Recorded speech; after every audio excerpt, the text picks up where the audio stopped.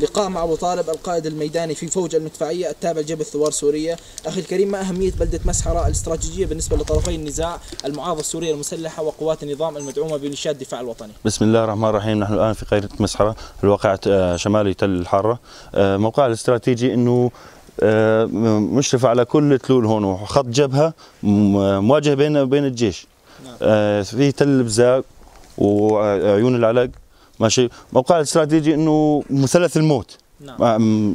الجبهه كم محاولة اقتحام شهدتها بلدة مسحرة وهل لديك إحصائية لخسائر قوات النظام كآليات أو كأفراد منذ تحرير البلدة؟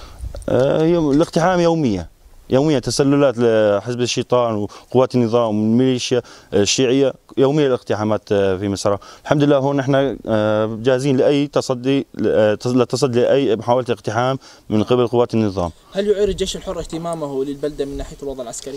نطالب الفصائل العسكرية بتعزيز الكمائن بتعزيز الكمائن في قرية مسحرة وارسال الذخائر وتنزيل عتاد ثقيل بلدة مسحرة.